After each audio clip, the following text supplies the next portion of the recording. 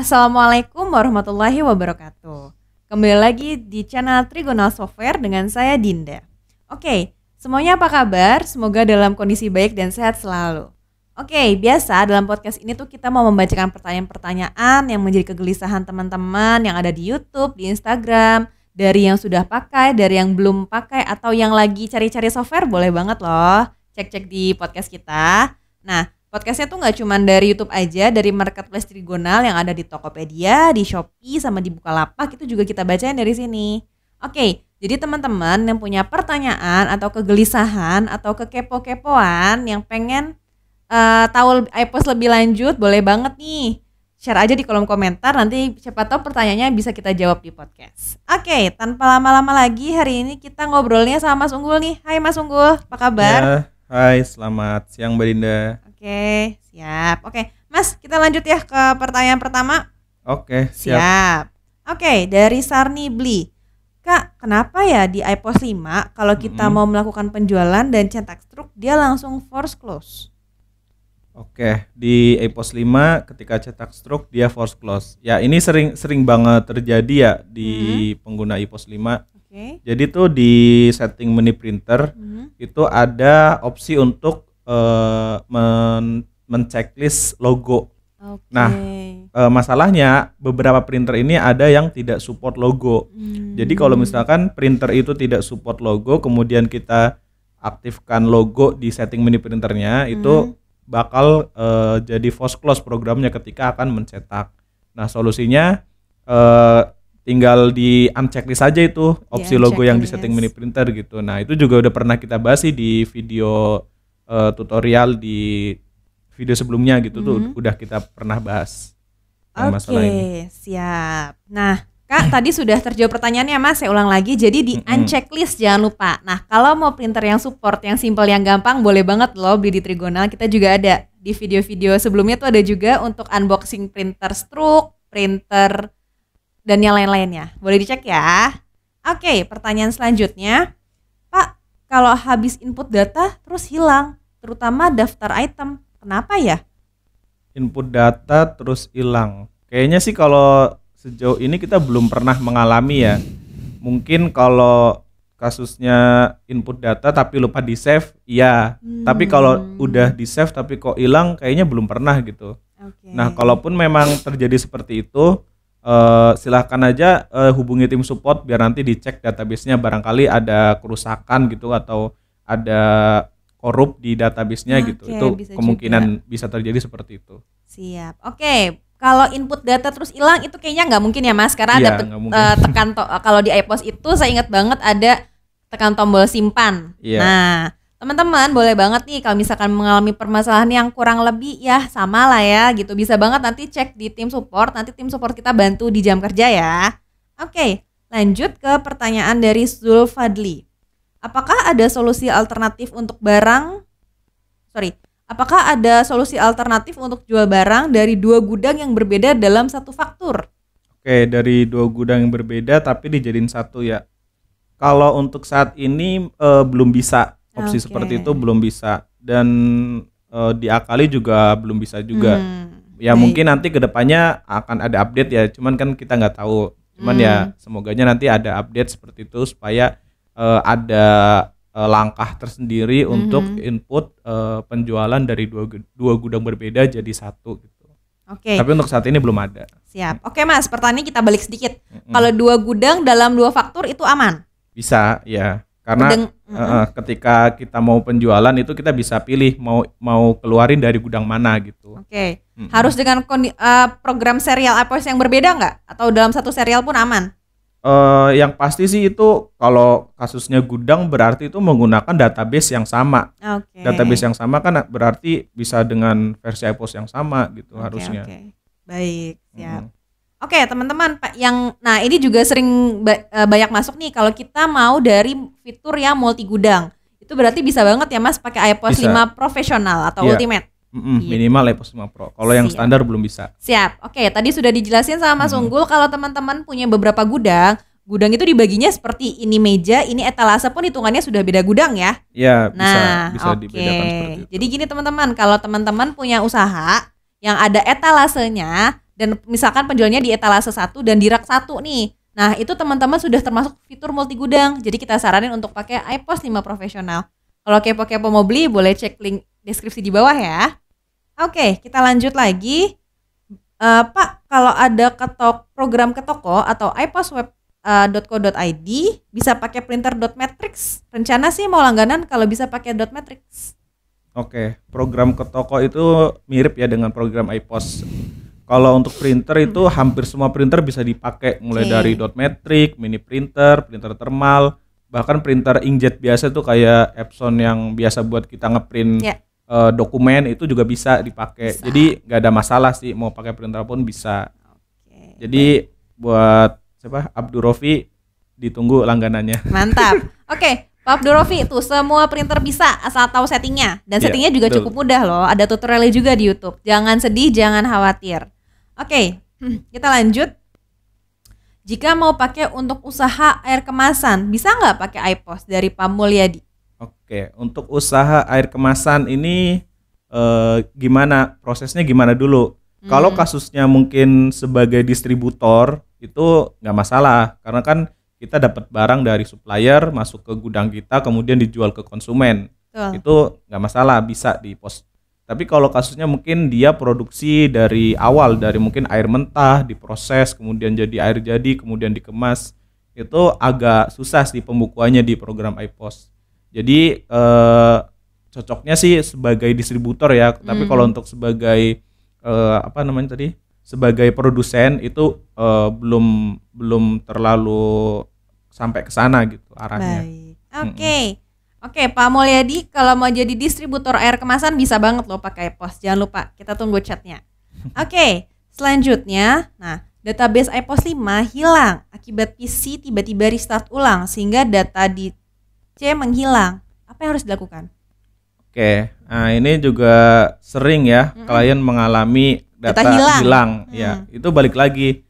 Ya, yang terpenting adalah kita rutin melakukan backup data.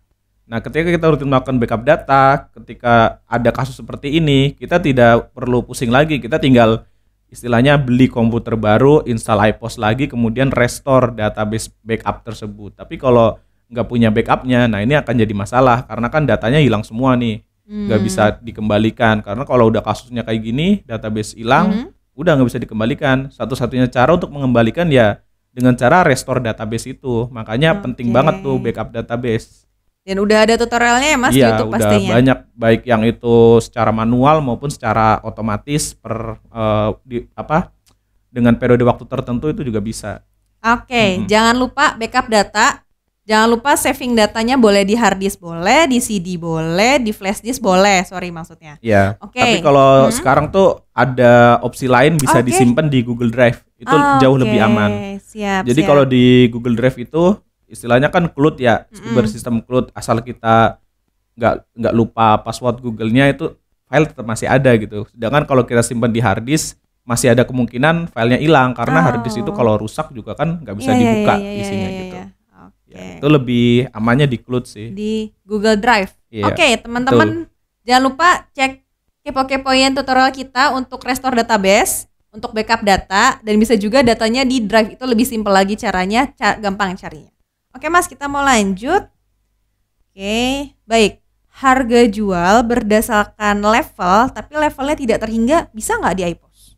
Oke, ini pertanyaan menarik ya, karena memang banyak juga yang nanya. Mm -hmm. Kalau dibikin, kalau di iPos 5 kan standarnya memang cuma 6 ya. ya. Sedangkan mungkin ada yang pengen lebih dari 6. Nah untuk itu kita e, sebenarnya bisa di pos 5 tuh diakali.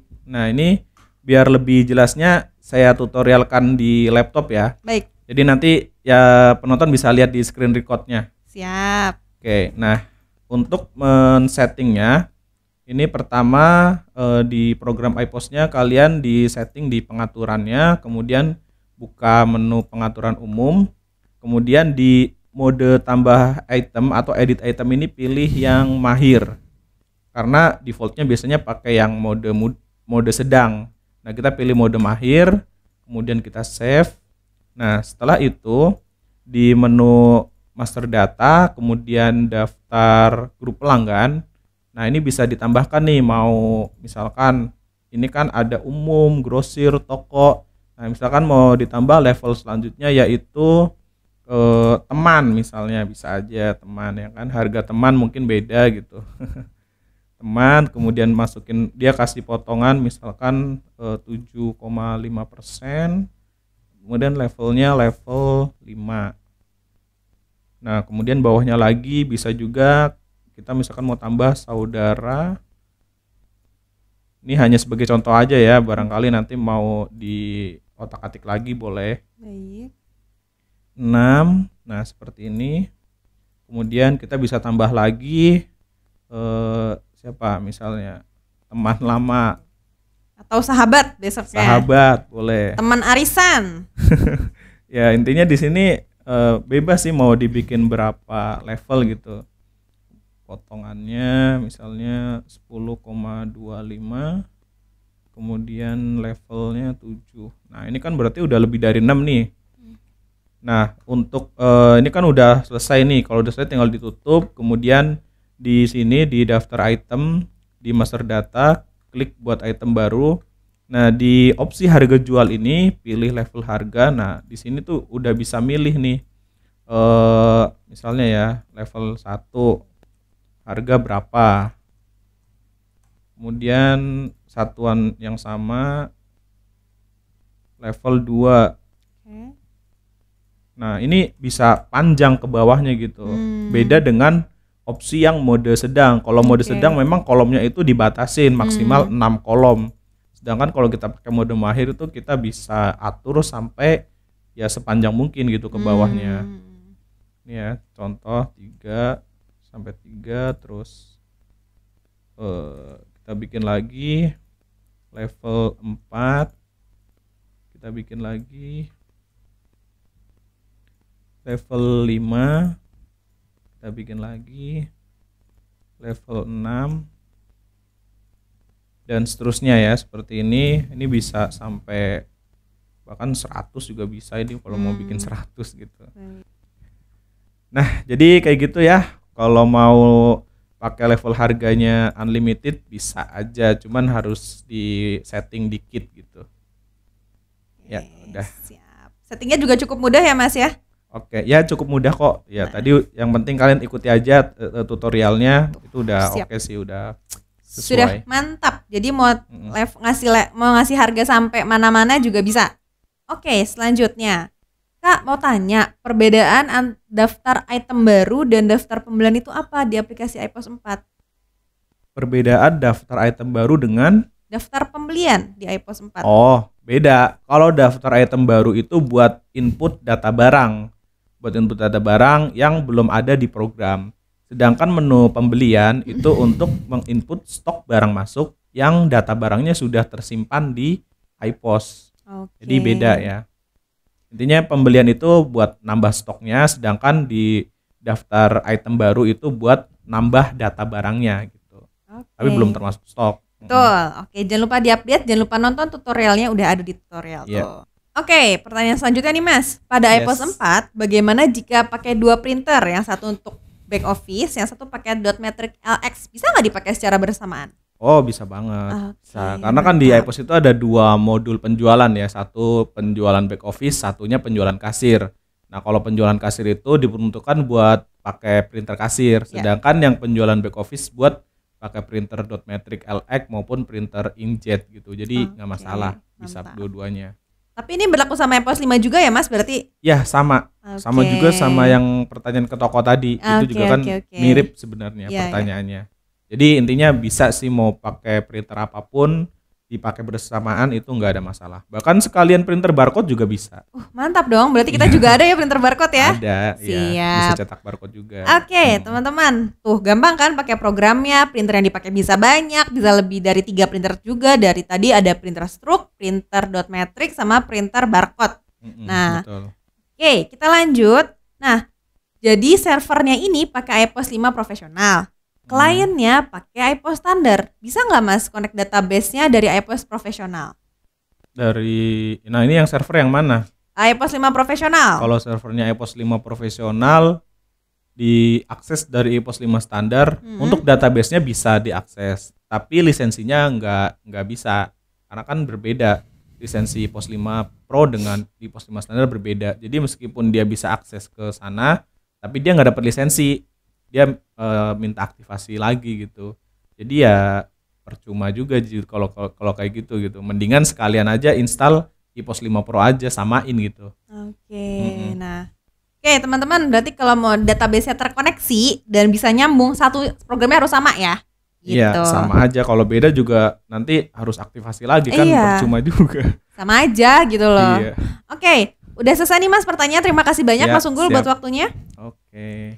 Siap. Oke, teman-teman sudah selesai pertanyaannya. Boleh banget kalau masih ada yang mau ditanyakan atau belum jelas, share di kolom komen. Nanti siapa tahu bisa kita bacain pertanyaannya. Oke, Cukup sekian dulu dari video kali ini. Jika kalian masih mau ada pertanyaan atau hal-hal yang masih pengen banget nih, pengen tahu banget tentang iPos, boleh banget ya. Baik yang baru mau pakai atau lagi cari-cari programnya. Jangan sungkan untuk share di kolom komentar. Oke, jangan lupa tek untuk tekan tombol subscribe dan nyalakan loncengnya supaya nggak ketinggalan nih kalau ada video baru dari channel Trigonal Software. Sampai ketemu lagi di video selanjutnya. Saya Dinda dan Mas Unggul. Wakili Trigona Software pamit undur diri. Wassalamualaikum warahmatullahi wabarakatuh.